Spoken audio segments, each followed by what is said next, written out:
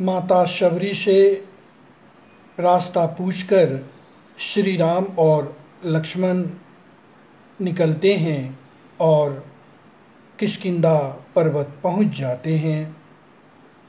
इस दृश्य को देखकर सुग्रीव सोचते हैं कि ये दोनों बालक कहीं मेरा वध तो करने नहीं आ रहा है। सुग्रीव अपने मंत्रियों से विचार विमर्श करते हैं और फिर हनुमान जी को भेजते हैं। हनुमान जी एक ब्राह्मण का वेश धारण कर वहाँ पहुँचते हैं और जानकारी प्राप्त करते हैं। फिर हनुमान जी उनसे कहते हैं आप तो भगवान हैं। एक भक्त को आप नहीं पहचान पाए।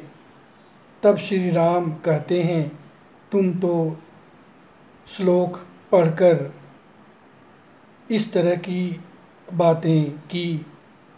भक्त को तो एक भक्त की तरह ही होना चाहिए। और फिर श्री राम और सुग्रीव में दोस्ती होता है, जैसा कि उनके मंत्री कहते हैं, यह एक राजनीतिक दोस्ती है। तब श्री राम कहते हैं कि यह तो एक तुच्छ व्यक्ति ही इस तरह की बात सोच सकता है।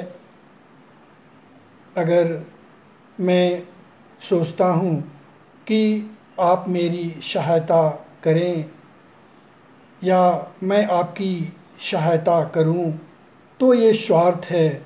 दोस्ती तो प्रेम और त्याग के साथ ही होती है। इस तरह से श्री राम का आदर्श देखने को मिला।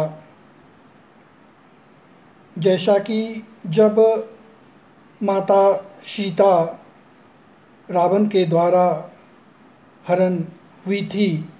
तो उन्होंने कुछ आभूषण नीचे गिरा दी। वह आभूषण हनुमान जी के पास पाया गया। हनुमान जी आभूषण दिखाते हुए श्री राम और लक्ष्मण जी से कहते हैं कि यही आभूषण हमने पाया है। श्री राम रोते हुए कहते हैं हाँ यह आभूषण तो सीता का है। और रोते हुए लक्ष्मण से पूछते हैं, लक्ष्मण, बताओ, क्या यही आभूषण है? तो लक्ष्मण कहते हैं कि, मैंने तो उन्हें चरण स्पर्श के द्वारा सिर्फ़ पायल को ही जानता हूँ। हमने तो उनका मुख नहीं देखा, लेकिन ये पायल दर्शाता है कि उन्हीं का ये आभूषण है और इस तरह से पता चलता है कि माता सीता दक्षिण दिशा में गई हैं और दोनों के बीच दोस्ती होती है। श्री राम और सुग्रीव के बीच में। इस सीरियल से पता चलता है कि हमें अगर भगवान को प्राप्त करना है तो श्रद्धा पूर्वक ही हमें भगवान की प्राप्ति हो सकती है।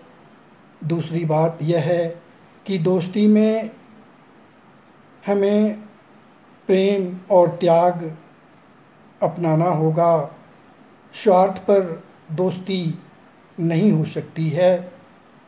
तीसरी बात यह है कि यह हमें सिखाती है कि किस तरह से एक देवर और भाभी का जो मर्यादित संबंध होता है, यह हमें सनातन धर्म सिखलाती है, जो हमें रामायण से ज्ञान प्राप्त होती है।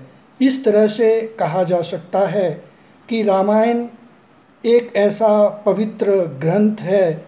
अगर ध्यानपूर्वक हम देखते हैं तो हमें बहुत बातों की जानकारी प्राप्त होती है। जय श्री राम।